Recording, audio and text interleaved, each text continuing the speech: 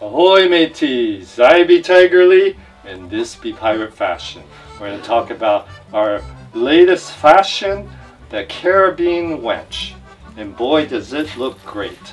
Alright, so this is uh, a colorful outfit that is very versatile. It's basically three parts. It consists of a lady pirate blouse, a reversible panel corset, and a sassy sea the sexy sassy sea skirt. All right, say that quickly five times.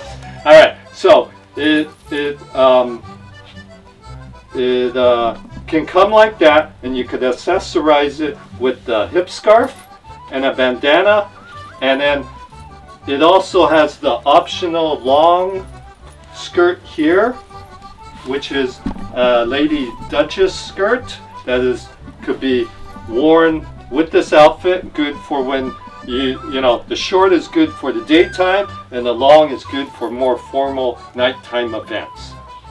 Okay, so one of the key features is that it, it, it is it has a reversible panel corset.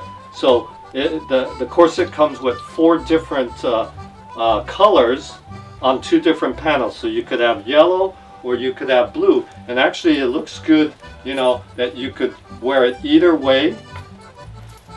And all you would have to do is change out the oh. colors of the top and the bottom.